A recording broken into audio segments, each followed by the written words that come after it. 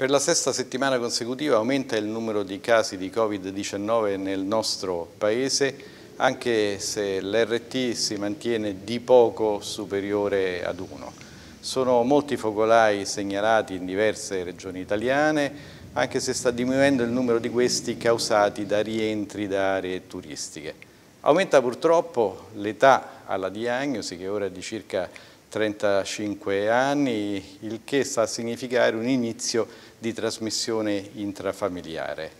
Naturalmente per tutti questi motivi è necessario continuare a tenere comportamenti prudenti, quali distanziamento sociale, quindi soprattutto evitare assembramenti, utilizzare le mascherine in luogo pubblico in particolare e naturalmente mantenere una sana ed accurata igiene delle mani.